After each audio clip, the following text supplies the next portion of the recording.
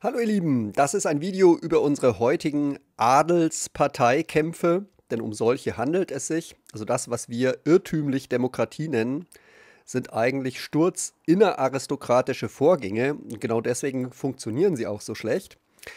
Und das Problem mit diesen ähm, Adelsparteikämpfen ist, dass sie äh, in fast jeder Hinsicht politisch unproduktiv sind ähm, gleichzeitig verbergen wir vor uns selber, dass es sich eigentlich um solche Adelsparteikämpfe handelt, also dass tatsächlich faktisch nur Menschen aus bestimmten Kreisen miteinander da um die Macht ringen. Also Ausnahmen bestätigen die Regel, aber statistisch ist das sehr stabil. Es sind halt ganz bestimmte Kreise, aus denen sich das aktive politische Personal rekrutiert und dann intern wechselseitig miteinander um die Macht ringt.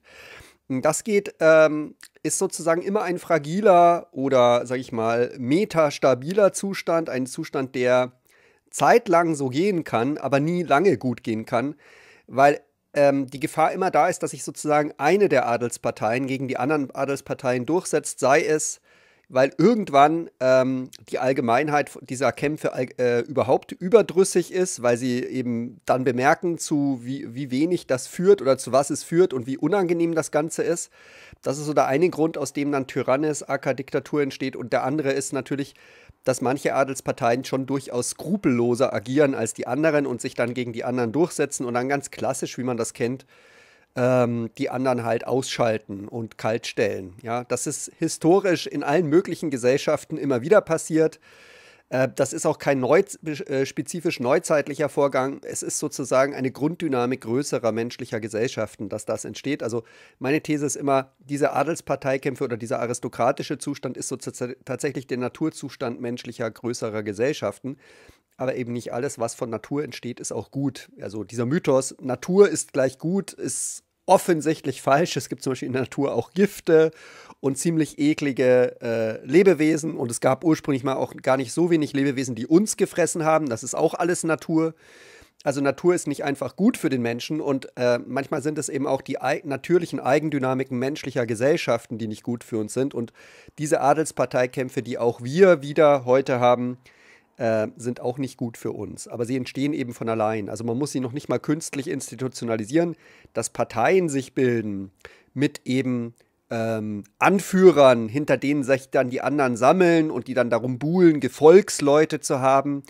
Das ist die natürliche Dynamik größerer menschlicher Gesellschaften. Das ist das, was von ganz alleine entsteht. Und das steht äh, auch noch hinter den Klagen bei so mancher, mancher Partei und manchem Politiker, wo also eine charismatischere Führung eingefordert wird. Das ist sozusagen eine inner, inneraristokratische Intuition, dass es nicht schlecht wäre, wenn man da vorne so eine Lichtgestalt hat, weil man dann im Kampf, im inneraristokratischen Kampf um Anhänger einfach leichteres Spiel hat. Ja, wenn da vorne jemand steht, so, der einigermaßen toll reden kann, einigermaßen toll aussieht und so weiter, das ist also in den inneraristokratischen Kämpfen immer günstig und wird dann regelmäßig auch immer wieder bedient und hat in, im inneraristokratenspiel einfach Vorteile. Das ist das, was dahinter steht. Also alles an unserer Gesellschaft drückt aus, dass wir in einer Aristokratie leben. Ja, sogar, sogar teilweise unser Vokabular drückt das recht eindeutig aus. Wir, es konkurrieren ja bestimmte Leute darum, die besten Regenten zu sein. Ja. Was heißt Aristokratie? Na, es heißt Herrschaft der Besten. Also Wahlen sind ein inneraristokratisches Prinzip. Nach meinem Verständnis ein Versuch, Revolutionen durch etwas Unblutigeres zu ersetzen. Und daran haben Aristokraten selbst natürlich ein lebendiges Interesse, wie man sich denken kann. Also, dass man den inneraristokratischen Machtkämpfe so gestaltet, dass der Blutzoll innerhalb der Aristokratie nicht zu hoch wird. Und da sind dann Wahlen eine gute Idee. Deswegen sind Wahlen innerhalb der Aristokratie tatsächlich ein zivilisatorischer Fortschritt, aber eben innerhalb der Aristokratie und sie, sie, sie, sie bewirken in keiner Weise und haben das auch noch nie getan, eine Demokratisierung. Also Wahlen waren nie demokratisch und hatten auch nie den Zweck, Demokratie herbeizuführen. Wie sich diese Redeweise in der Politologie einge, eingeschlichen hat, ist wirklich ein, ein interessantes historisches, begriffsgeschichtliches Ereignis. Ein, äh, also Begriffsgeschichtler könnten daran ihre Freude haben, wie plötzlich dann Dinge plötzlich Demokratie genannt werden, werden die also historisch nie Demokratie genannt wurden, wo also unseren Vorfahren immer klar war, ähm, ja, also Wahlen sind halt nicht demokratisch. Äh, plötzlich wird dann eben so geredet und dann schleicht sich das ein, verbreitet sich und bürgert sich ein. Ja, da stehen wir halt jetzt heute, dass wir also äh, sturzaristokratische Vorgänge einfach mal eben demokratisch nennen, obwohl sachlich nichts daran demokratisch ist. Demokratisch wäre, wenn alle Menschen gleich stark beteiligt sind. Ja. Unmittelbar gleich stark beteiligt, es keine politischen Privilegien gibt, einen keinen bevorzugten Zugang zu Politik und Staat. Davon sind wir so unendlich weit entfernt, rein nach, nach ganz nüchternen Zahlen, rein nach Statistik. Wenn man sich anschaut, wer bekleidet Ministerämter, wer nimmt wirksamen politischen Einfluss über Lobbyismus, wer sitzt in den Parlamenten, dann haben wir krasse, krasse Überprä Überrepräsentation und Privilegierung auf der einen Seite und krasse, krasses Nicht-Vorkommen bis äh, unter ferner Liefen vorkommen von anderen. Also der politische Einfluss ist so ungleich verteilt in unserer Gesellschaft, dass wir in keinem Sinn davon reden können, dass wir bereits in Demokratien leben würden. Und genau das ist eben auch das Problem weil äh, Gesellschaften, die so vorgehen, wie wir vorgehen, also die sozusagen Aristokratie dulden, sind immer fragil und instabil und tendieren immer auf gesellschaftliche Katastrophen. Also meine These ist, aristokratisch organisierte Gesellschaften können nicht vermeiden, sich selber in Katastrophen rein zu manövrieren. Das ist sozusagen ihre auch wiederum Naturtendenz. Und egal, was Aristokraten anstellen, sie können das nicht vermeiden. Also man sieht das in der Geschichte. Ich finde, man sieht es deut besonders deutlich in der antiken Frühgeschichte, also in der Vorgeschichte der Demokratie in der Antike in Athen. Ähm, dann wird dann alles Mögliche versucht. Es wird versucht, äh, auf die Aristokraten mäßigend einzuwirken. Es wird appelliert, ja, äh, den Wettbewerb nicht aus dem Ruder laufen zu lassen und so. Und das nützt aber alles nichts, weil Mäßigung im inneraristokratischen Spiel, wie wir auch heute wieder erleben, keine Vorteile bringt. Also diese inneraristokratischen Kämpfe werden nicht von denen, denen gewonnen, die nach Mäßigung rufen, zumindest nicht langfristig, ja. Also vorübergehend ist dieses staatsmännische Auftreten, ja, ich mache hier Politik nicht nur für meine Klientel, für meine Gefolgsleute, für meine Anhänger, äh, sondern ich mache Politik für alle. Erstmal so, äh, klingt wie eine gute Strategie, sehr viel wirksamer ist aber mittelfristig äh, krasse, krasse, wie soll man sagen, Polemisierung, äh, krasse Polarisierung und so weiter und eben auch der, der gezielte Tabubruch und so weiter. Das ist, also die Aristokraten sind schon verschieden in ihrer Ausrichtung auf für wie viele Menschen bin ich da oder für wie viele Menschen fühle ich mich verantwortlich. Da sind manche sehr viel exklusiver und offensiver unterwegs im Sinne von, ich mache hier Politik nur für meine kleine Klientelgruppe, ja, so im Sinne von, ich mache Politik nur für die Deutschen, Deutschland zuerst oder ich mache Politik nur für die Reichen, die Reichen zuerst oder so. Ne? Und das wird manchmal auch nicht mehr so offen gesagt, aber gemacht und gedacht wird es trotzdem. Also wenn es Nachteile bringt, es offen zu sagen, wird es nicht gesagt. Wenn es Vorteile bringt, es offen zu sagen, wird es offen gesagt. Also das ist alles Teil eines Machtspiels, eines Machtkampfes. Und was in diesem Machtkampf nutzt, wird gemacht. Und das Problem mit der Aristokratie ist, dass bestimmte Strategien innerhalb dieser Machtkämpfe hochgradig vorteilhaft sind die für die Gesellschaft als Ganze hochgradig desaströs sind und irgendwann natürlich auch für diese Menschen, die diese Strategien selber anwenden, aber das halt erst in der, in der längeren Hinsicht. Also kurzfristig bringen Strategien Vorteile, die langfristig hoch nachteilhaft sind. Das ist ein inneraristokratischer Mechanismus, den die Aristokratie selber nicht ausschalten kann. Also Aristokratie hat in sich, aus sich selbst heraus keinerlei Lösung für die Probleme, die sie selber generiert. Und das ist auch der Grund, warum sie entweder sich auflöst in Tyrannis oder auflöst in Demokratie. Das sind die beiden Alternativen. Ja? Es gibt also nach meiner These für jegliche sesshafte, komplexe, differenzierte, dynamische Großgesellschaft nur drei Grundsystemzustände, nicht mehr, nicht weniger. Und diese wechseln sich ab und vor allem wechseln sich ab äh, Aristokratie und Tyrannis. Ja? Aristokratie und wie wir es neuzeitlich nennen, Diktatur, wechseln sich ab. Die, die, die systemisch stabile Überwindung von beiden ist die Demokratie, aber die haben wir halt nie erlangt. Ja, also die haben wir nie realisiert. Ja, wir wechseln also immer im schönen Wechselspiel. Wenn uns die Parteikämpfe zu blöd werden, bildet sich eine Diktatur heraus und wenn die Diktatur wieder zu beschissen ist, bildet sich wieder diese, bilden sich wieder diese Parteikämpfe heraus, also das, was die Griechen Stasis genannt haben. Beständige Kämpfe zwischen den Aristokraten um die Macht, ständiges Machtgerangel mit den übrigen üblichen Intrigen, mit den üblichen Machtstrategien, wo dann in der Regel die Dreisteren, die Skrupelloseren sich durchsetzen. Ja. Und insofern, Aristokratie ist aus sich selbst heraus eine Art systemisches Moraldumping. Also wenn man eine möglichst unmoralische, unethische Gesellschaft haben will, dann macht man Aristokratie.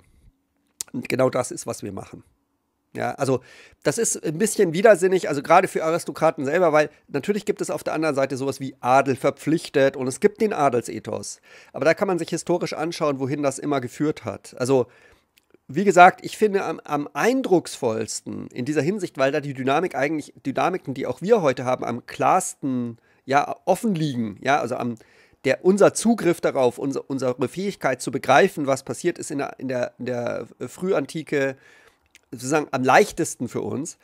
Das finde ich sehr eindrucksvoll, weil man hat auch versucht, mit Ethik zu agieren. Also man hat sozusagen an den Ad der Adel hat an sich selber appelliert, doch bitte ethischer zu werden und ethischer zu agieren. Es hat aber nichts genutzt, weil einfach Ethik, Ethik, ethisches Agieren keine dominante Strategie in den Machtkämpfen war, waren, die ausgetragen werden mussten, die systemisch einfach da waren. Und die gleiche Dynamik haben wir heute. Ne? Also es wird appelliert, immer wieder, auch von Journalisten wird viel appelliert, dass Politiker doch bitte so oder so agieren sollen. Würden sie aber so agieren, wie von ihnen erwartet wird und teilweise auch von, von, von ihnen selbst von sich erwartet wird, dann verlieren sie diese Kämpfe. Deswegen ist es keine dominante Strategie. Also rein spieltheoretisch setzen sich Arschlochstrategien durch innerhalb der Aristokratie. Also, wenn du ein erfolgreicher Adelsparteiführer sein willst, kannst du nicht ethisch agieren. Das erleben wir immer wieder. Und das Interessante ist, dass die Menschheit aus diesen eigentlich regelhaften Vorgängen so wenig lernt. Aus der Geschichte wäre wahnsinnig viel zu lernen, weil es sich wirklich um regelhafte, sich wiederholende Vorgänge handelt. Wir sehen aber immer nur die Unterschiede. Wir sehen nicht praktisch die Grundprinzipien, die sich ständig wiederholen. Wir sehen immer nur die Unterschiede. In dem Sinne sind wir auf eine ganz unproduktive Weise Historisten. Wir schauen also immer in die Geschichte und sagen, ja, damals, da war das so und so. Ja, aber das hat für uns heute keine Bedeutung. Das hat uns nicht zu sagen, weil ja eine ganz andere Gesellschaft. Die gemeinsamen Grundprinzipien, die aber die ganze Zeit, seitdem die Menschheit in Sesshaftigkeit zusammenlebt, die ganze Zeit am Werk sind, blenden wir aus. Also das sozusagen was uns seit 10.000 Jahren verbindet, weil es seit 10.000 Jahren im Grunde die gleiche Dynamik ist, die sich nur in verschiedenen Varianten abspielt, aber im Grunde ist es die gleiche Dynamik. Und diese Dynamik ist, ist, sieht eben so aus, es gibt drei Grundzustände. Der, Grund, der Naturzustand ist der Zustand von Adelskämpfen, das ist der, der sich zunächst alleine herstellt. Diese Adelskämpfe sind aber in sich instabil, fragil und lösen sich von alleine auf. Und dann lösen sie sich meistens in Tyrannis auf und ganz, ganz seltenen Sonderfällen lösen sie sich in Demokratie auf. Ja, das sind die beiden Zustände, wie man Adelskämpfe beenden kann. Also man kann einen Zustand nur durch einen anderen Zustand ersetzen und entweder wird der Zustand der Adelskämpfe durch eine Tyrannis, durch einen König, durch einen Diktator, also durch eine Macht, die sich durchsetzt und dann diese Parteien unterdrückt, ähm, äh, abgelöst oder eben durch die demokratische Form. Die demokratische Form ist, man politisiert die Gesellschaft als Ganze und alle sind politisch aktiv und zwar alle gleich stark. Und das lässt sich nur durch das demokratische Losverfahren erreichen. Und das sind die beiden Formen, wie man das erreichen kann. In der Regel ist es immer ein Wechselspiel von Tyrannistasis, Tyrannistasis, Tyrannistasis oder in unserer heutigen Begrifflichkeit Diktatur, Parteikämpfe, Diktatur, Parteikämpfe, Diktatur, Parteikämpfe wechseln sich ab ohne Fortschritt. Demokratie wäre der Fortschritt, aber das ist halt das, was wir seltener machen, historisch gesehen. Ja, also absolut selten, absolute Ausnahme, dass man also begreift, wie unproduktiv die Gesamtdynamik ist und dass man etwas ganz anders machen muss, nämlich etwas kontraintuitives, nämlich man muss die Gesellschaft politisieren. Jeder Mensch muss ein politischer Akteur werden, ein politisches Subjekt und zwar alle gleich stark. Und dann hat man eine Möglichkeit, die Parteikämpfe zu stoppen, ohne dass man darüber in eine Diktatur oder Tyrannei gerät. Ja, und das ist das, was die Griechen in einer kurzen provinziellen Zeitphase ähm, begriffen haben in Athen. Das war der, absolute Sonderfall. Ansonsten ist der Regelfall eben, wir haben Parteikämpfe und ab und zu, ab und zu setzt sich halt eine Partei dann durch, unterdrückt alle anderen macht auch interne Säuberungen. Da sind wirklich auch die Nazis wirklich ein ganz gutes historisches, der Regelfall. Das ist das, was wir, genauso die Stalinisten und so. Das ist so das, was passiert. Eine Partei setzt sich gegen die anderen durch in, in, in innergesellschaftlichen Kämpfen, das, die im Grunde Adelsparteikämpfe sind. Das wollen wir auch nicht sehen. Auch die Kommunisten waren eine Adelspartei. Ganz eindeutig waren sie das. Ähm, die natürlich im Namen des Volkes und im Namen der Arbeiter agiert haben, aber das ändert nichts daran, dass das eine Adelspartei war. Genauso waren die Nazis eine Adelspartei. Und dann passieren interne Säuberungen. Also das, was zum Beispiel dann irgendwann die Nazis selber mit der SA gemacht haben, ja, das ist so der typische Fall, deswegen darf man sich da auch keine Illusion machen. Also es gibt ja heute auch so von manchen Menschen so Fantasien, gerade unter Migranten gibt es das. Ich werde AfD-Anhänger und dann passiert mir nichts. Da kann ich nur sagen, hm, ja, auch eine äh, lesbische Vizepartei äh, wird sich noch wundern, was passiert, wenn die AfD erstmal an der, an der Macht ist. Ja, das, also nach der Macht und vor der Macht wird völlig verschieden agiert. es ist, ist dann, wenn man sich erstmal durchgesetzt hat und die dominante Partei ist, also diese Tyrannis erlangt hat, ist das Agieren ein ganz anderes als im, in, in der Phase der Parteikämpfe, der Machtergreifung. Ja, der, wo man noch ringt um die Macht, aber sie noch nicht hat. Das ist. Ähm, ja, da werden sich halt einige wundern, wie die inner, inner, innerparteilichen Säuberungen dann ausfallen. Da sind die Nazis wirklich ein, ein, ein paradigmatischer, äh, typischer Fall. Und so, so geht das aber immer. Das ist kein, also das ist vielleicht auch so ein Punkt. Die Neuzeit hat immer die Nazis zu was ganz, ganz Besonderem erklären wollen und darüber halt sich selber verschleiert, wie regelhaft das alles ist. Das ist letztlich fast eine Entlastungsstrategie. Also indem man die Nazis zu was ganz Besonderem, Dämonischen macht. Also das ist schon super, super übel gewesen, keine Frage. Ja, ich bin ganz weit weg von Verharmlosung. Es ist mir so, dass ich bewusst machen will, wie schlimm wir, wir heute dran sind, weil das eben leider nicht eine Ausnahmeereignis in der Geschichte ist, sondern eher ein regelhaftes Ereignis. Also unsere Lage ist viel schlimmer, als wir denken. Ja, wir denken ja so, wir haben den Nationalsozialismus überwunden, jetzt ist irgendwie alles gut oder es wird nie wieder so schlimm werden und die, die, die Realität ist, es kann sogar noch schlimmer werden. Ja? weil die Grunddynamiken, die regelhaften Grunddynamiken dahinter sind immer noch voll, voll im Gange. Ja, also sozusagen, der Faschismus wird immer wiederkehren. Natürlich unter anderem Namen, in anderer Gestalt, aber wir haben nicht den Faschismus besiegt. Wir haben vorübergehend der Sache ein Ende gemacht. Ja. Und dann kehrt sie immer wieder, weil die Grunddynamiken dahinter sind in vollem Gange. Und das ist halt so ein Problem, dass man da das Regelhafte in der Geschichte nicht sehen will. Man will immer die Einmaligkeit sehen. Auch viele Historiker sind total fokussiert immer auf die Einmaligkeit und die Unterschiede. Aber die allgemeinen Prinzipien dahinter, das ist halt eher so ein Philosophenthema. Philosophen sind immer am ewig Wahren, am immer Gültigen, an der Allgemeinheit interessiert, an den allgemeinen Prinzipien. Das ist so der Philosophenblick. Der ist auch ein bisschen verrückt, finde ich. Sage ich als jemand, der Philosophie studiert hat. Ähm, aber äh, ist hilfreich manchmal, um bestimmte Dinge zu erkennen und in bestimmter Hinsicht halt nicht naiv zu sein. Aus meiner Sicht ist unsere heutige Gesellschaft sich selber gegenüber hochgradig naiv, gerade was ihre eigene Gewaltneigung angeht. Wir denken immer, wir hätten das überwunden. Haben wir nicht. Ja. Da gibt es sehr eindrucksvolle psychologische Untersuchungen zu, also die zeigen, wie wir so in Wirklichkeit ticken und das ist beängstigend. Also wenn man mal versteht, wie Menschen psychologisch gebaut sind, dann ist der, der Gesellschaftszustand, in dem wir gerade sind, hochgradig beängstigend. Also es ist wie so eine Milchmädchenrechnung. Man ist psychologisch aufgeklärt, wie funktionieren Menschen, plus man schaut sich an, wie unsere heutige Gesellschaft operiert. Und wenn man das zusammennimmt, also wenn man das zusammenschüttet, so 1 plus 1 ist 2, dann kann einem ganz anders werden, weil dann äh, ist man wahrscheinlich in Panik.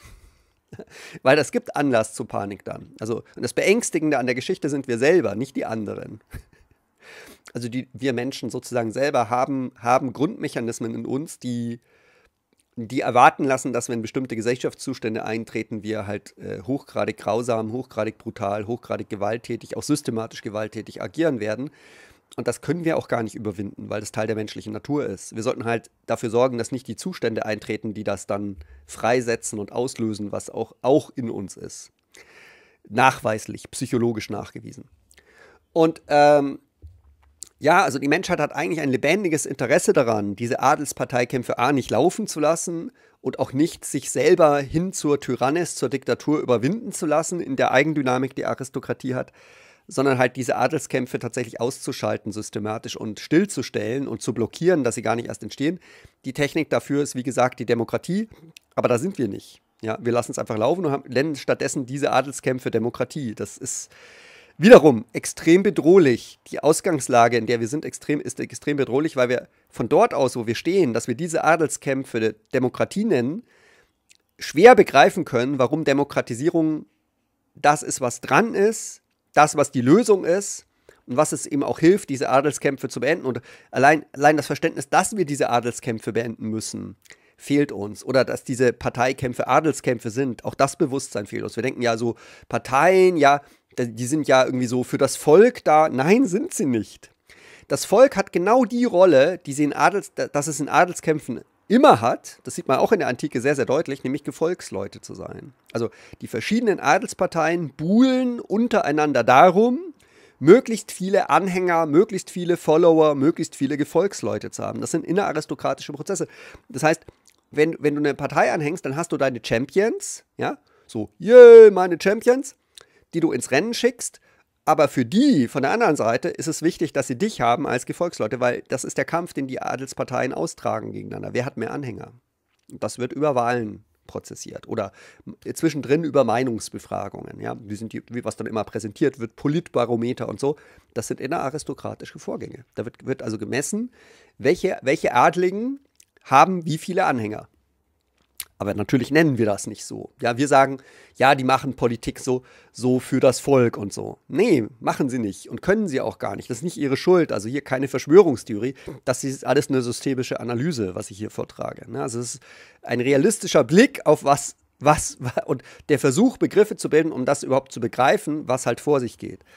Um zu sagen, was ist.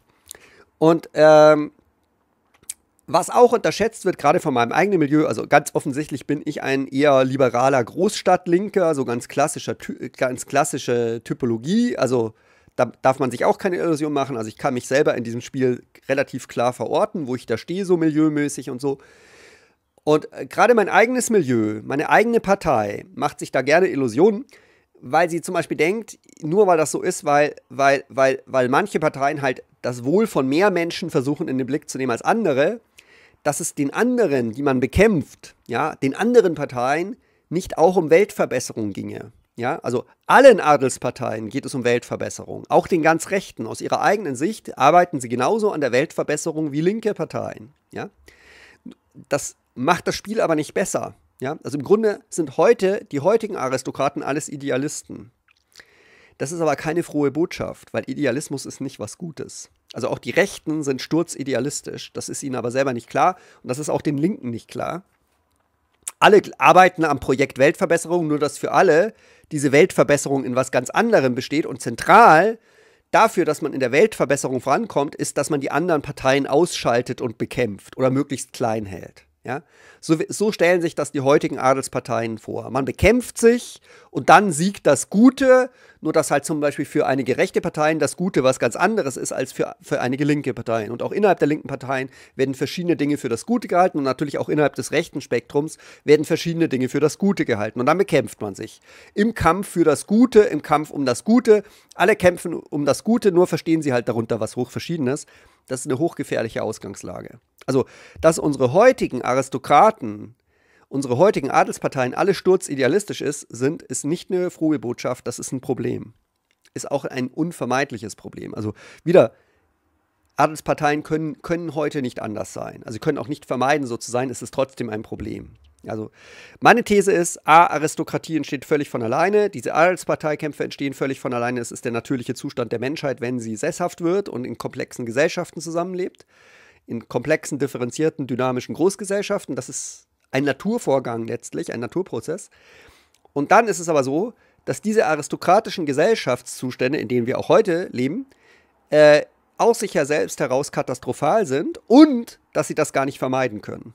Ja, das ist so meine These. Und das ist natürlich eine beängstigende These. Also ich habe kein sonderlich fröhliches Weltbild, ich habe ein relativ düsteres Weltbild. Ich würde aber sagen, ich habe ein realistisches Weltbild im Gegensatz zu den meisten anderen heute lebenden Menschen.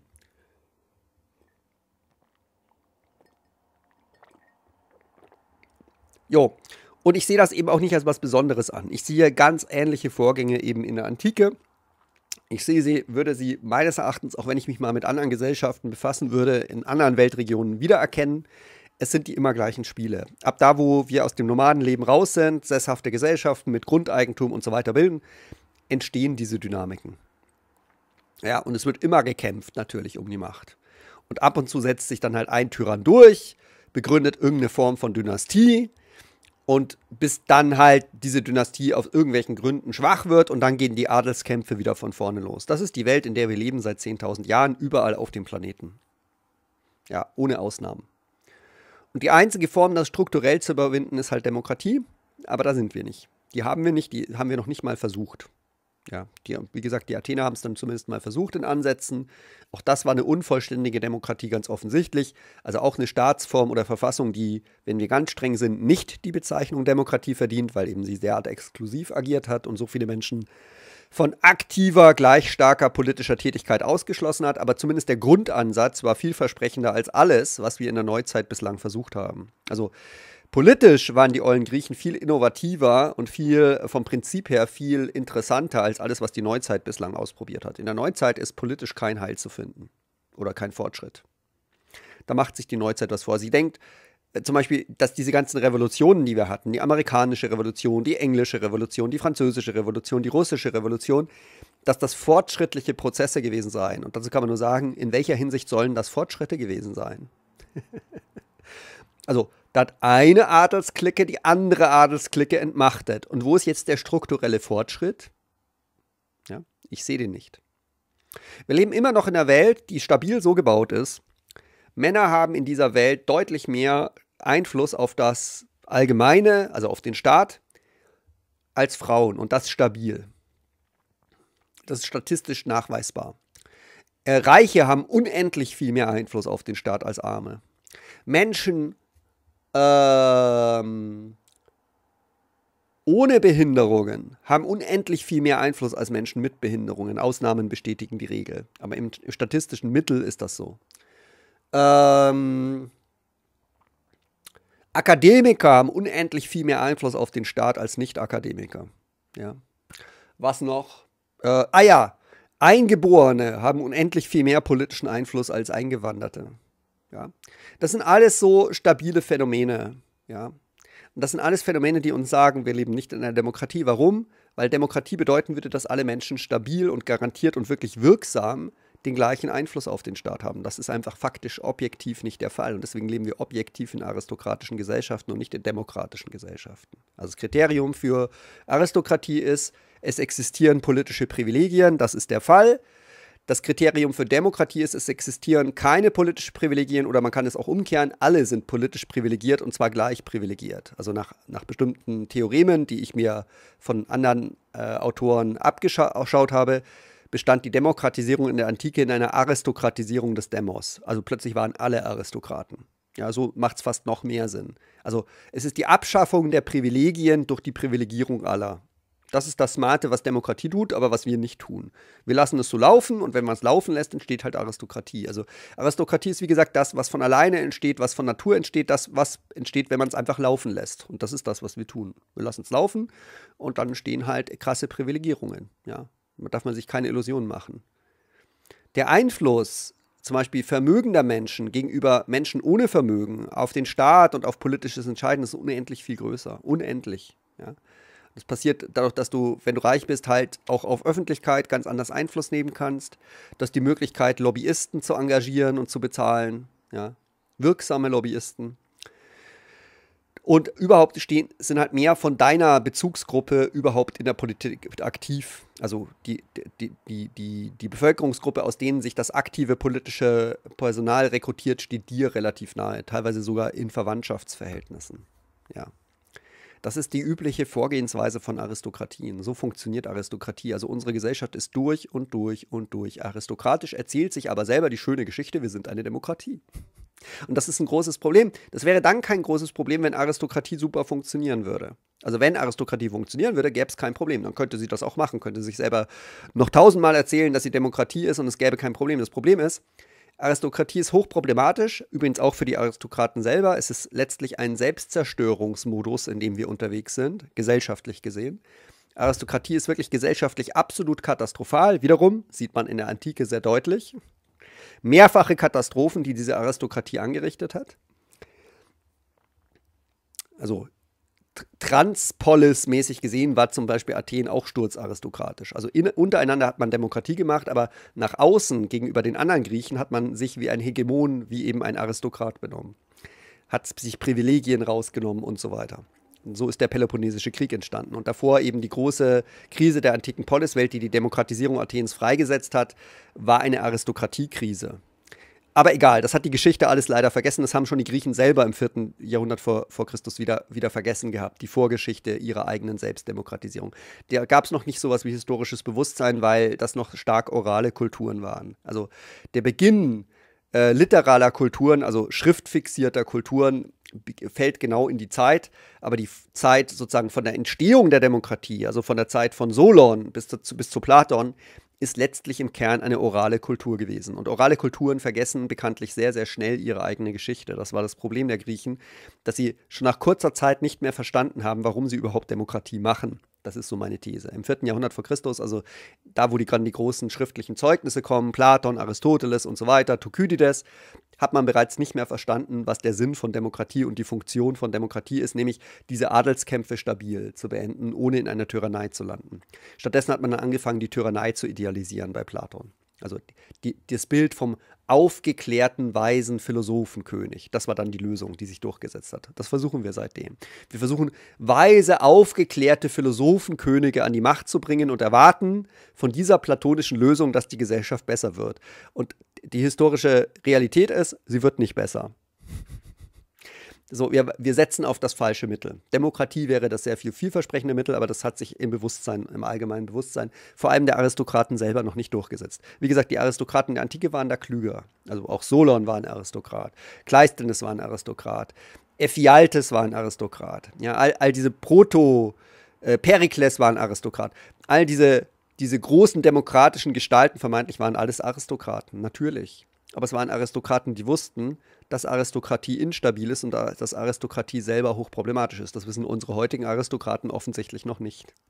Sie wollen es noch erfahren durch den historischen Prozess, dass Aristokratie katastrophal ist. Ja, okay, da sind wir auf einem guten Weg es gerade auch, auch nochmal für uns rauszufinden, weil wir halt nicht aus der Geschichte lernen wollen. Wir wollen es selber rausfinden. Wir wollen nicht von den Erfahrungen anderer lernen, wir wollen es selber erleben. Ja, okay, dann erleben wir die Katastrophen halt selber und erleben halt selber, wie katastrophal Aristokratie aus sich heraus ist. Können wir gerne machen. Da sind wir ja voll dabei gerade. So, jetzt habe ich einen Fadenriss. Was ich sagen will ist, ähm, Aristokratie, wenn sie funktionieren würde, wäre unproblematisch. Das Problem mit der Aristokratie ist tatsächlich ein rein funktionalistisches, ein rein pragmatisches. Sie funktioniert nicht und wird auch nie funktionieren. Also die Idee, es betteln sich ein paar chosen few, ein paar Privilegierte um die Macht und dann setzen sich die Besten durch. Ja, wie das so in Hollywood-Filmen ist, ja. Der Kampf gut gegen böse, Herr der Ringe, Star Wars, ja. Gut gegen böse und dann gewinnen die Guten. Das ist so das, das, das, äh, wie soll man sagen, naive Gesellschaftsprozessbild, das unsere heutige Gesellschaft tatsächlich ernsthaft hat. Also das ist die Hollywoodisierung oder wie ich es nenne, manchmal Star Warsifizierung der Politik. Nur mit dem Unterschied, dass eben alle glauben, dass sie die Guten sind. Ich kann nur immer wieder darauf hinweisen, auch die Nazis waren aus ihrer eigenen Sicht die Guten. Das war, war nicht ironisch, das war nicht ähm, so, das haben die ernsthaft geglaubt. Ja? Und auch unsere heutigen Rechten denken natürlich, dass sie die Guten sind und dass die Linken die Bösen sind. Und das glauben die Linken halt von den Rechten auch. Ja, da kann man immer fragen, wozu könnte das möglicherweise führen? Also in, in welchem möglichen Szenario führt diese Ausgangslage zu irgendwas Gutem? Ja, alle halten sich für Krieger des Lichts und die anderen für die Vertreter des Reichs des Bösen. Wohin führt das?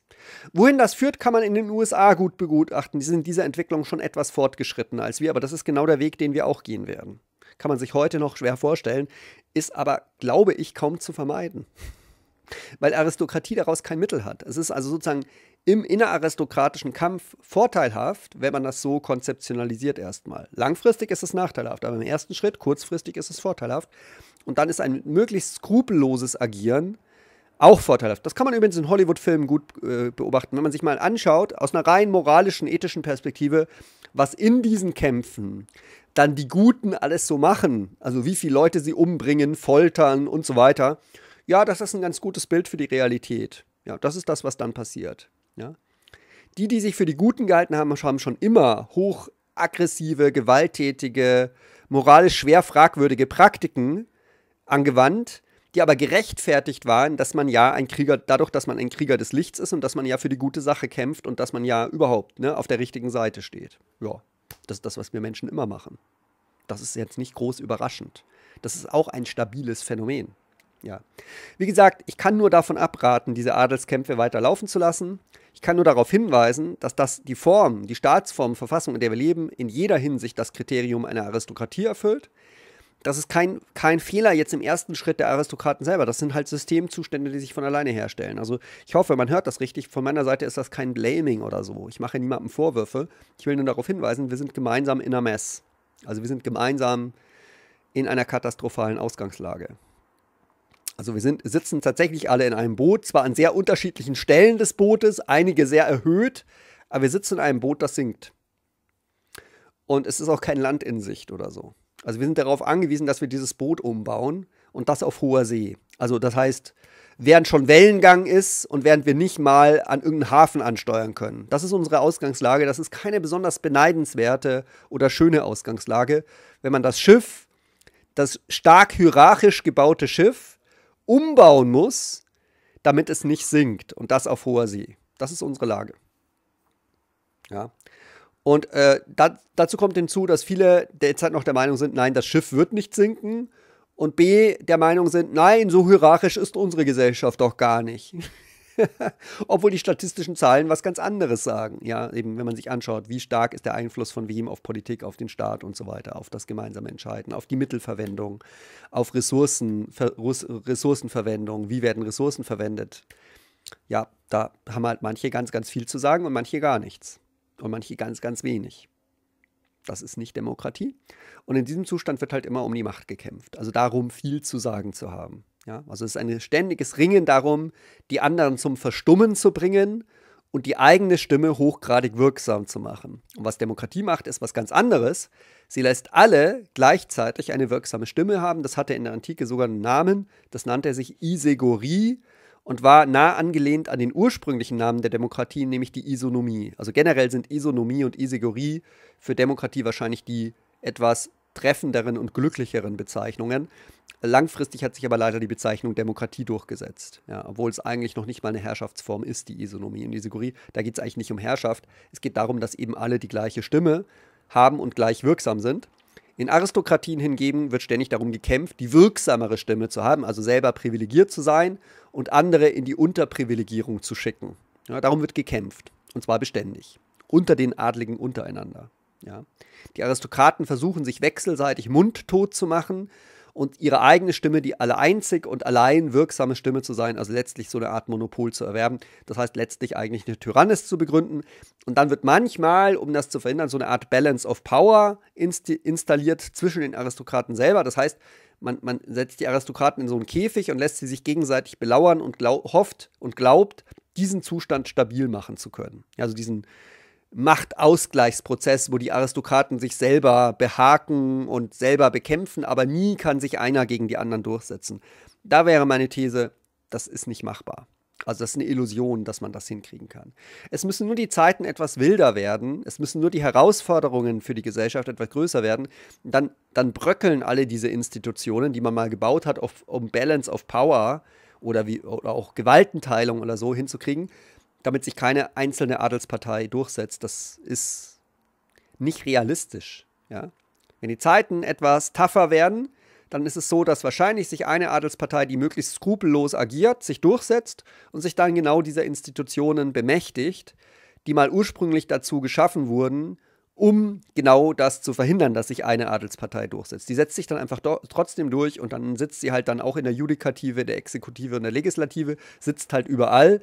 Ja, dann ist es nicht vorbei. Ah ja, und dann wird immer unter den Aristokraten, das ist auch sehr beliebt, erst, erst gestern wieder gehört, die Zivilgesellschaft. Oh ja, die Zivilgesellschaft. Da muss investieren in die Zivilgesellschaft. Oh mein Gott. Was Aristokraten völlig ausblenden, wirklich völlig, und das ist wirklich krass, in welchem Ausmaß sie dazu fähig sind, das auszublenden, obwohl es auch gut erklärbar ist, warum sie dazu fähig sind oder warum ihnen das passiert, ist, der hoch, hoch ungleiche, das hoch, hoch ungleiche Vermögen der Menschen verschiedener Schichten, verschiedener Klassen, sich politisch oder zivilgesellschaftlich engagieren zu können. Ja? Wenn ich drei Jobs habe oder einen physisch sehr fordernden Job habe, komme ich nicht nach Hause und engagiere mich danach noch nach der Arbeit politisch. Oder wenn ich alleinerziehende Mutter von zwei Kindern bin, habe ich nicht die Kraft, danach mich noch politisch zu engagieren.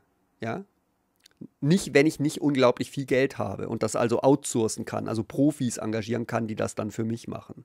Also wenn ich dann eine Nanny zu Hause habe, die sich eigentlich um meine beiden Kinder kümmert, dann kann ich das, aber dann bin ich halt sehr reich. Ja? Und das blenden Aristokraten vollständig aus. Ne? Dann sind sie immer zivilgesellschaftliches Engagement. Ja? Das müssen wir stärken. Ja? Das heißt aristokratisches Engagement. Warum? Ja, weil nur Aristokraten sich engagieren können. Nur die haben die Ressourcen, nur die haben die Zeit. Die, der Rest der Menschheit hat die Kraft, die Zeit, die Ressourcen nicht, um sich politisch engagieren zu können. Das wird aber von Aristokraten gar nicht gesehen. Ist überhaupt kein Problem für Aristokraten, weil es außerhalb ihres Horizonts. Kriegen sie gar nicht mit, dass die meisten sich ja nicht politisch engagieren können. Deswegen ist gerade dieses zivilgesellschaftliche Engagement hochgradig aristokratisch, rein strukturell. Wer sich da engagiert, sind Leute, die es können. Und wer kann? Ja, Leute, die Zeit haben, Leute, die Ressourcen haben und Leute, die nicht vollständig erschöpft sind. Ja? Geh mal an jemanden, der heute in der Altenpflege arbeitet, der dann ne, eine 40-Stunden-Woche in der Altenpflege hat. Geh mal hin und sag dem mal, engagier dich doch mal politisch. Ja, da werden sich einige finden, die finden sich immer wieder, aber das sind so Rossnaturen. Das machen die auch nur eine Zeit lang. Ja, ein paar ganz wenige haben so starke persönliche Ressourcen, haben also so eine persönliche Resilienz, dass sie das können. Das sind aber absolute Ausnahmeerscheinungen. In der Breite wird das nie passieren. Also, ich sag mal so, ganz weit, lehne ich ganz weit aus dem Fenster.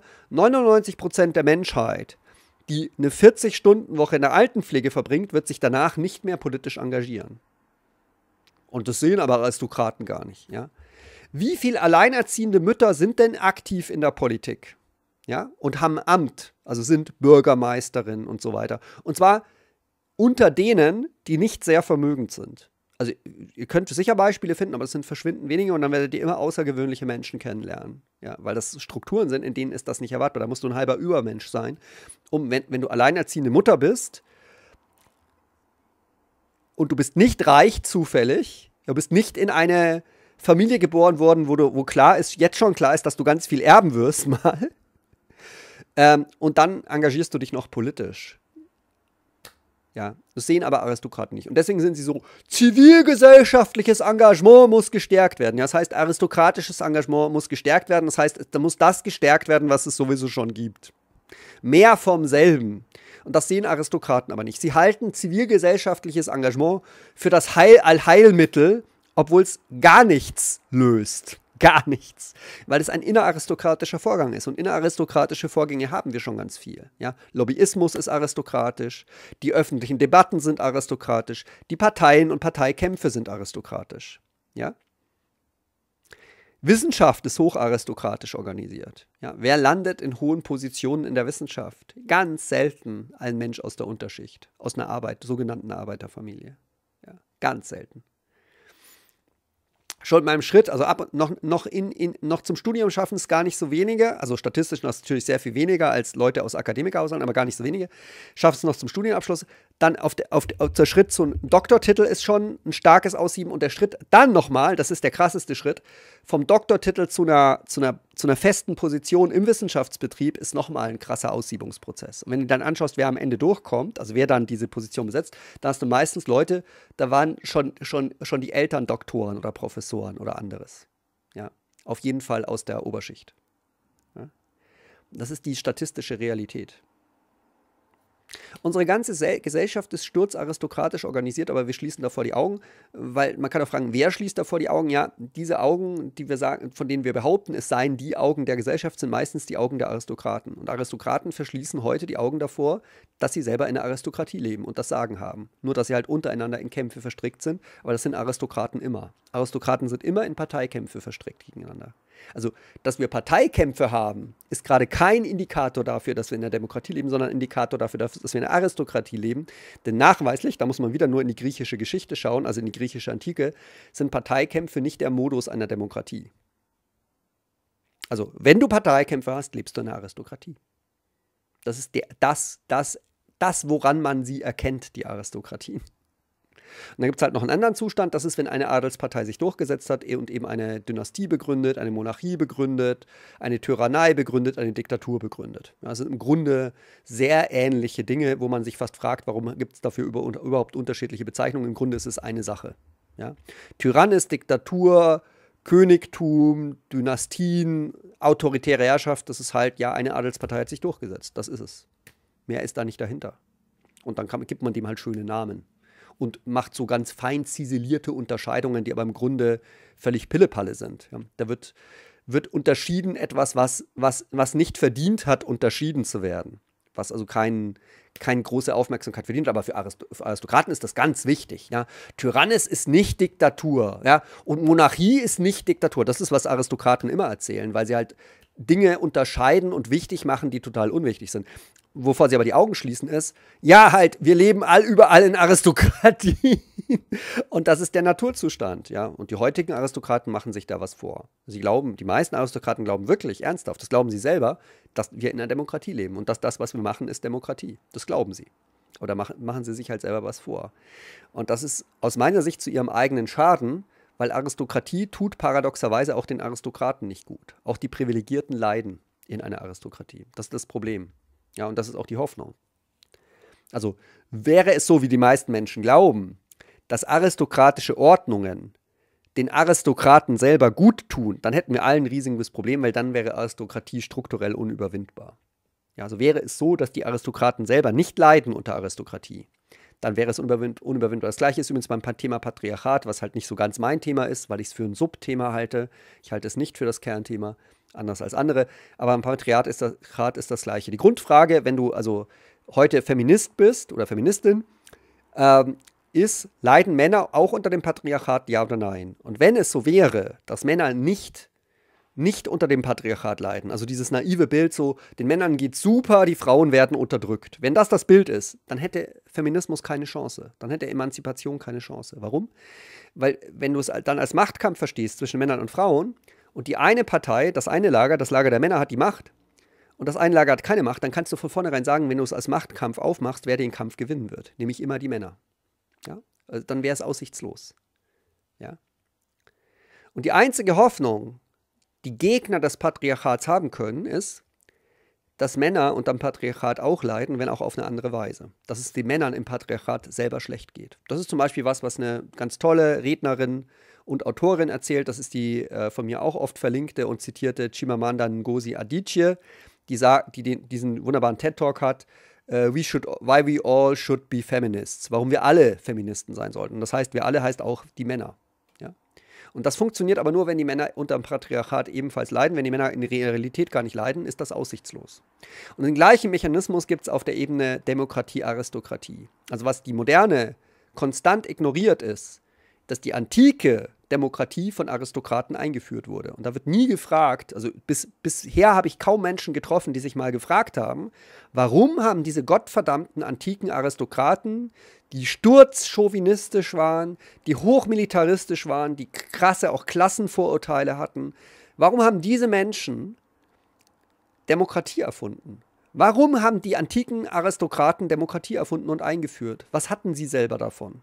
Ja? Und dann wird dann oft so argumentiert, ja, in den Inneradelskämpfen hatte die Partei des Kleistens davon einen Vorteil gegenüber. Ja, das kann sein, das ist nicht ganz unrealistisch oder nicht ganz auszuschließen, aber es wird was anderes ausgeblendet. Was ausgeblendet ist, dass möglicherweise die antiken Aristokraten was erkannt hatten, was die modernen Aristokraten eben noch nicht erkannt haben, nämlich, dass Aristokratie als Staatsform, als Verfassung den Tatbestand einer beständigen Selbstschädigung erfüllt. Das heißt, Aristokraten, und das haben die Griechen tatsächlich erlebt, geht es in der Aristokratie schlecht.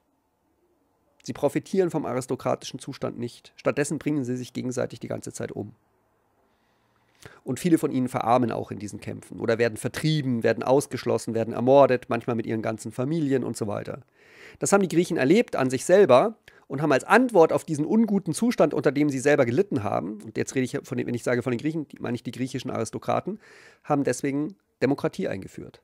Eigentlich als Lösung für ein Problem, das sie selber hatten. Das wird aber der Moderne nicht gesehen. Die Moderne hält das für ausgeschlossen. Ja? Das ist aber die einzige Hoffnung. Die einzige Hoffnung auf Demokratie besteht darin, dass die Aristokratie begreift, wie sehr sie sich an sich selber leidet und wie wenig sie die Probleme, die sie selber erzeugt, selber lösen kann. Aristokratien sind unfähig, die Probleme zu lösen, die sie selber freisetzen. Und das erleben wir gerade heute wieder. Ja, also alle gesellschaftlichen Probleme, die wir heute haben, sind Resultat unserer aristokratischen Struktur. Unsere heutige aristokratische Gesellschaftsstruktur setzt diese Probleme frei, die wir heute haben in der Gesellschaft. Und gleichzeitig kann diese aristokratische Stru Grundstruktur diese Probleme, die sie selber freisetzt, nicht lösen, nicht bewältigen. Sie hat keine Antworten darauf, keine Strategien. Und deswegen hat heute Demokratie wieder Chance auf Realisierung, weil allmählich einigen Aristokraten schwant, dass das ein Problem ist. Also natürlich sind Leute wie David van Reybrouck, natürlich sind Leute wie in den Staaten äh, James Fishkin und so weiter, natürlich sind das alles Aristokraten. Die gehören zur Oberschicht, ganz eindeutig. Ja? Das sind aber Aristokraten unserer Tage, die erkannt haben, dass Aristokratie ein Problem sind, ist und sich deswegen für Demokratisierung klar machen. Ja. Auch in Deutschland, der, der Peter Dienel, dieser Soziologe, der das äh, Bürgergutachten mit, mit Planungszelle erfunden hat, das eben auch mit dem Gebrauch macht vom demokratischen Losverfahren, war ganz eindeutig ein Aristokrat. Also A hatte er, war er Soziologe, in denen, keine Ahnung, waren, wo, wo noch nicht diese allgemeine Ausbreitung von mehr Leute gehen an die Unis und so waren. Also das war in der Zeit. Der war zum Beispiel ein persönlicher äh, Freund von unserem später, späteren Bundespräsidenten Johannes Rau. Eindeutig gehörte der Mann zur Aristokratie unserer Tage. Ja. Also wir leben wieder in einer Zeit, in der einige Aristokraten begreifen, dass Aristokratie ein strukturelles Problem ist, auch für sie selber. Also die nicht aus Nächstenliebe oder sowas demokratisieren wollen, sondern aus Eigennutz. Ja, die begreifen, wenn wir so weitermachen, wenn wir so in den aristokratischen Strukturen mit den beständigen Parteikämpfen weitermachen, dann fällt uns das selber ganz gewaltig auf die Füße. Und das ist unsere einzige Hoffnung, dass die Aristokraten der Welt begreifen, dass aristokratische Strukturen auch für sie selber schadhaft sind. Ja? Und ja, das haben, wie gesagt, wurde in der Antike schon mal begriffen, so im äh, Ende des 6. Jahrhunderts vor Christus. Einführung der Demokratie, wenn man Datum haben will, ist wahrscheinlich 508, 507 vor Christus mit den kleistenischen Reformen. Da geht das los. Da hat man das schon mal begriffen. Wir stehen irgendwie noch so am Rand dieser Erkenntnis. Wir stehen kurz vor der Erkenntnis, A, dass wir begreifen, wie aristokratisch wir immer geblieben sind, wie wir nach wie vor sind, wie wir heute sind und dass das ein Problem ist und dass das Probleme erzeugt, die wir aber in dieser aristokratischen Struktur nicht lösen können wir stehen so am Rand dieser Erkenntnis, ob sie sich durchsetzen kann in der Breite der Aristokratie, ist noch, noch, ähm, noch fraglich. Also zum Beispiel äh, eine Partei, die FDP war, schon mal offener gegenüber demokratisch gelosten Bürgerversammlungen. Jetzt derzeit rudert sie wieder zurück. Also und ist gegen geloste Bürgerversammlungen offenbar.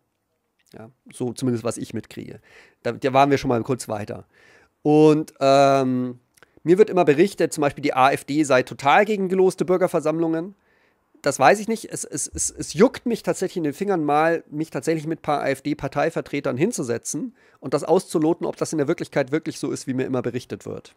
Weil aus meiner Sicht, also wenn ich jetzt rein strukturell analytisch denke, fallen mir aus dem Stand ein paar Argumente dabei ein, die also keine geringe Chance haben, AfD-Parteivertreter davon zu überzeugen, dass geloste Bürgerversammlungen auch in ihrem Eigeninteresse sind.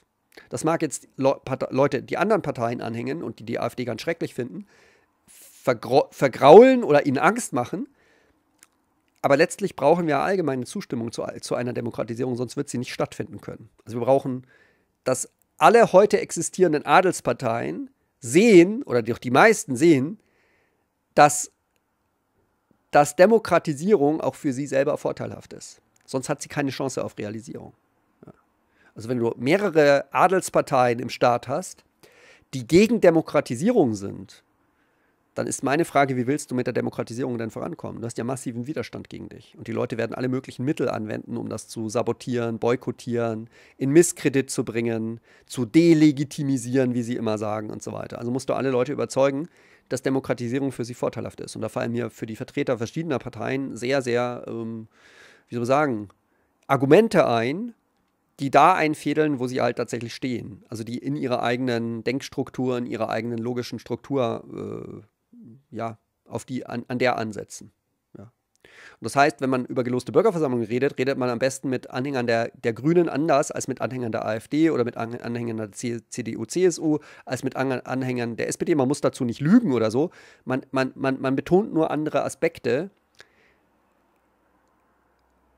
die halt Demokratie an sich tatsächlich hat die geloste Bürgerversammlungen an sich haben, die Demokratisierung an sich hat. Demokratisierung hat sehr viele Dimensionen, sehr viele Aspekte, sehr viele Wirkungen gleichzeitig und je nachdem, mit wem man spricht, betont man andere Aspekte. Deswegen ist auch so ein Kanal wie dieser hier hochdysfunktional, weil hier kann ich nicht differenzieren. Ich kann hier nicht anders reden, als halt mir der Schnabel gewachsen ist. Also hier adressiere ich nur mich selbst. Das ist ein reines Selbstgespräch. Hier rede ich so, wie ich, wie ich rede, wenn ich mich überzeugen müsste. Ich bin aber schon überzeugt. Insofern ist es eine ganz absurde Form von Preaching to the Choir. Also hier ist der, der Preacher und der Choir identisch. Also völlig absurd, ja. Und mehr überzeugt von der Sache, als ich schon bin, kann man ja kaum sein. Also was mache ich hier? Aber in der Realität der, der wirksamen Kommunikation ist es so, dass du mit verschiedenen Menschen verschieden reden musst, weil sie halt an verschiedenen Stellen ihr, äh, stehen und auch die Welt verschieden konzeptionalisieren, verschiedene Dinge für selbstverständlich halten und verschiedene Dinge für absurd halten. Und dann redet man über Demokratisierung mit verschiedenen Menschen verschieden. Logischerweise. Alles andere macht überhaupt keinen Sinn. Und mich juckt es immer mal wieder in den Fingern, tatsächlich persönlichen Kontakt, den hatte ich noch nicht. Also ich habe tatsächlich mit Vertretern fast aller Parteien schon persönlich geredet, auch offiziellen Vertretern, über diese Frage und habe da jetzt schon ein bisschen Erfahrung. Aber äh, mit der AfD habe ich noch nicht geredet, weil mir die Vertreter der anderen Parteien gesagt haben, wenn du mit der AfD redest, reden wir nicht mehr mit dir. Ich sage, okay, ist jetzt nicht mein Plan, aber okay, wenn das der Preis ist, dann zahle ich ihn halt. Aber mittlerweile äh, denke ich mir, warum nicht? Warum nicht? Also äh, mehr als enttäuscht werden kann man nicht. Oder mehr als an seine Grenzen stoßen kann man nicht. Und ähm, an, an, diese, an diesen Gedanken von, man wird korrumpiert durch persönlichen Kontakt, glaube ich eh nicht. Ja, also ich bin da nicht so, äh, äh, ich, ich operiere nicht mit dem, mit dem Begriff der Kontaktschuld. Ja, also so im Sinne von, wenn der sich mal mit dem getroffen hat, dann ist automatisch derjenige, äh, derjenige äh, moralisch diskreditiert oder als Interaktionspartner diskreditiert. So denke ich nicht.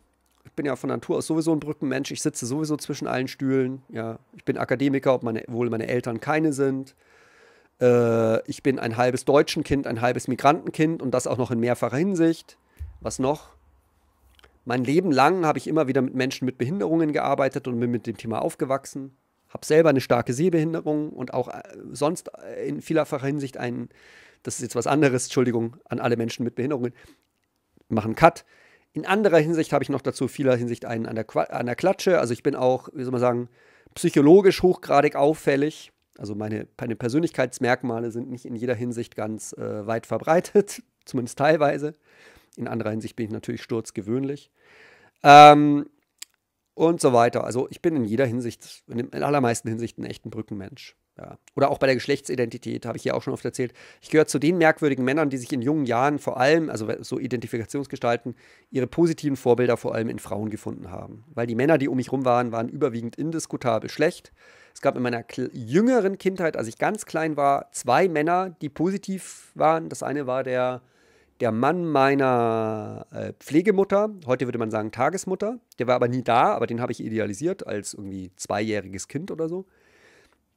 Hat sich so ausgedrückt, ähm, der, der hat einen Ford gefahren und die kleinen Autos, die ich am liebsten mochte, mit denen ich gespielt habe, waren Fords. Ne, das war die positive Identifikation, die sich da ausgedrückt hat. Und der zweite Mann, den ich positiv fand, war mein Grundschullehrer in der dritten, vierten Klasse das war zufällig ein Mann. Derzeit in Grundschulen, wir wissen wahrscheinlich die meisten, die Kinder haben im Grundschulalter, sind fast alles Frauen. Also auch mit, nach wie vor sind Männer selten. Ich hatte das Glück, einen männlichen Grundschullehrer zu haben. Ich hatte auch eine ganz tolle Grundschullehrerin in den ersten zwei Jahren meines Schullebens. Und dann aber im dritten, vierten Jahr hatte ich einen ganz tollen Grundschullehrer. Das waren die einzigen Männer, die ich positiv fand als Kind. Alles andere meiner Vorbilder waren Frauen, als ich jünger war. Das hat sich dann geändert irgendwann, aber erst so Mitte 20. Das heißt, ich bin in, in, in Hinsicht auf sexuelle Identität tatsächlich etwas merkwürdig geprägt.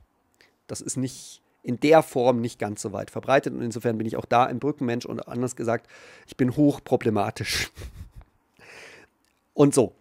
Und als dieser Brückenmensch habe ich wenig, wenig Berührungsängste auch äh, zu Vertretern vor AfD, wenn man das rechtfertigen will. Ich habe da ein großes Vorbild, das viel krasser ist als ich, also das ich auch nie erreichen würde, also allein nicht mit diesem Vorbild zu vergleichen, also von meiner Seite ist anmaßend. Das ist dieser von mir auch oft verlinkte Daryl Davis, der sich regelmäßig mit den Anführern des Ku Klux Klan ge, ge, getroffen hat, als schwarzer Jazz, ich glaube Pianist oder so. Ja, also ist ein schwarzer Jazzmusiker, der sich angefreundet hat, ganz bewusst mit den Anführern des Ku Klux Klans im amerikanischen Bundesstaat Maryland. Also für diese Vorgehensweise gibt es Vorbilder. So viel sei gesagt. Und also für mich ist der Daryl Davis ein Held. Ich selber möchte eigentlich kein Held sein. Ich halte Heldentum nicht für erstrebenswert, aber nicht, trotzdem kann ich anerkennen, der Daryl Davis ist ein echter Held. Der hat unter persönlichem Einsatz seines persönlichen Lebens eine Veränderung bewirkt in der Realität. Eine sehr kurzfristige, nicht stabile Veränderung, aber immerhin. So, und insofern kann ich auch, ich gehe zur AfD und rede mal mit denen über geloste Bürgerversammlungen und über Demokratisierung äh, von mir selber durchaus rechtfertigen, auch wenn das niemand sonst verstehen mag. So, so viel dazu. Und einfach, ich tue es ehrlich gesagt, falls ich es noch tue, ich bin noch nicht ganz entschieden, aus reiner Neugier, weil ich gern wissen will, ob das, was mir erzählt wird, dass die AfD total gegen geloste Bürgerversammlungen ist und gegen Demokratisierung ist, ob das wirklich in der Realität stimmt. Oder ob ich Kraft meines merkwürdigen rhetorischen Talents doch in der Lage bin, da ein paar Punkte zu setzen, wo einige AfD-Granten, lokale AfD-Granten, äh, ankommen, an, anfangen nachzudenken. Ob das nicht doch in ihrem Sinne ist, obwohl sie erst gedacht haben, es sei gegen ihre Ziele. Das wird jetzt allen Linken tierisch Angst machen. Aber wie gesagt, ich bin eine sturzlinke Großstadtsocke immer gewesen. Ich bin sturzlinks sozialisiert worden an dem Gymnasium, auf das ich zufällig gegangen bin in Augsburg. Ein altehrwürdiges humanistisches Gymnasium, an das ich mich verlaufen habe, weil ich die Dinosaurier liebte, weil ich ein Spätentwickler war und die Dinosaurier-Alarm auf Latein sind. Und wenn du Latein als erste Fremdsprache nimmst, dann landest du auf dem humanistischen Gymnasium. Davon gab es in Augsburg damals zwei. Auf einem von beiden bin ich dann gelandet und dort bin ich dann sturzlinks sozialisiert worden, weil alle meine hochprivilegierten Mitschüler ähm, halt äh, gerne Punks und Links und irgendwas sein wollten. Und das hatte natürlich auf mich eine Auswirkung. Außerdem, wenn man aus dem kurdischen Elternhaus kommt, ziemlich schwer, nicht links zu werden. Ja, also ich bin eine sturzlinke Socke, die sich tatsächlich hinsetzen wird, wahrscheinlich und äh, auch mit AfD unter anderem, ich rede mit allen Parteien, ähm, unter anderem auch mit AfD-Parteipolitikern über geloste Bürgerversammlungen redet. Und dann, ja, dann schauen wir mal, wie weit wir da kommen. Ja, und wie gesagt, ich rede mit jedem anders. Das mache ich auch transparent, weil das gar nicht anders Sinn macht. Wenn, du, wenn, wenn ich, wenn ich mit, mit AfD-Leuten so rede, wie ich mit grünen Leuten rede, dann kann ich es gleich von Anfang an vergessen. Was soll das? Und hier auf diesem Kanal rede ich zu mir selbst. So, hier rede ich so, wie ich äh, reden muss mit einer Person, die so ist wie ich. Und das ist begrenzt sinnvoll. Ja, man ist immer nur eine ganz kleine Randgruppe in der Gesellschaft. Das trifft übrigens meines Erachtens auf jeden Menschen zu. Jeder Mensch ist heute eine kleine Randgruppe bei näherem Hinsehen. Jeder Mensch ist heute so besonders, dass er in, in nicht einer Hinsicht, sondern in vielfachen Hinsichten zu einer Minderheit gehört. Jeder Mensch, ausnahmslos jeder weil wir alle eine Identität haben, die aus sehr vielen Teilidentitäten besteht. Und wenn man jede dieser Teilidentitäten anschaut, dann ist die bezogen auf die gesamte große Gesamtmenschheitsgesellschaft in der Minderheit. Ja, also zum Beispiel Weiße sind in der Minderheit, menschheitsgeschichtlich, menschheitsstatistisch. Männer sind in der Minderheit. Ja, der kleinere Teil der Menschheit sind Männer. Ja, Alte sind in der Minderheit, Junge sind in der Minderheit, Akademiker sind in der Minderheit, Nicht-Akademiker sind in der Minderheit. Auf, wenn man auf ganz bestimmte Weise hinschaut nur. Sonst sind sie natürlich in der Mehrheit. Ähm, ja, äh, Brillenträger sind in der Minderheit oder Menschen mit einer so starken Sehbehinderung wie ich sie habe, sind auf jeden Fall in der Minderheit. Ähm, was noch? Also egal welche Eigenschaft man nimmt, man ist in der Minderheit. Ja? Äh, die Psychodiversität ist auch sehr interessant. Ja? Also interessantes Gebiet, die Psychodiversität. Wir, unser Gehirn arbeitet eben sehr ähnlich bei allen Menschen, aber arbeitet nicht genau gleich. Und es gibt verschiedene Grundstrukturen. Und da ist man immer auch in der Minderheit. Also wenn man zum Beispiel zu einem der vielen äh, Autisten gehört im riesigen Autismus-Spektrum. Wer das nicht weiß, Autisten sind nicht alle gleich. Es gibt ganz viele Formen von Autismus.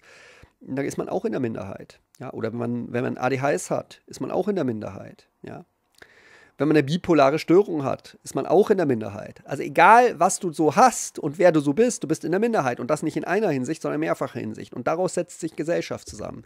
Wir sind eine Gesellschaft aus lauter Minderheiten, die miteinander um die Macht kämpfen und das aristokratisch organisieren. Und das ist absurd. Das sollten wir aufhören zu tun, zugunsten einer Demokratie, die diesen Namen Demokratie wirklich verdient hat. Ceterum censio, Isonomiam esse sortiendam. Im Übrigen erkenne ich die Tatsache an, dass die Isonomie, die Politie, die Demokratie gelost werden muss.